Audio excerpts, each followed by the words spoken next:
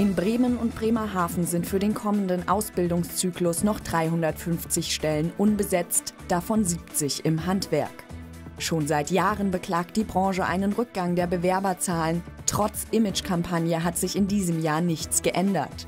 Grund dafür könnte die Neuausrichtung der Interessen von Jugendlichen sein. Viele von ihnen fangen nach ihrem Schulabschluss lieber an zu studieren, als in einen Ausbildungsberuf einzusteigen. Gerade Bewerbungen für das Bäcker-, Fleischer- und Friseurhandwerk sind besonders gesunken. Die geringe Bezahlung und die ungewöhnlichen Arbeitszeiten machen diese Berufe besonders unattraktiv. Die Agentur für Arbeit veranstaltet im September erneut eine Nachvermittlungsaktion. Auch Beratungstermine können noch über eine kostenlose Service-Hotline abgesprochen werden.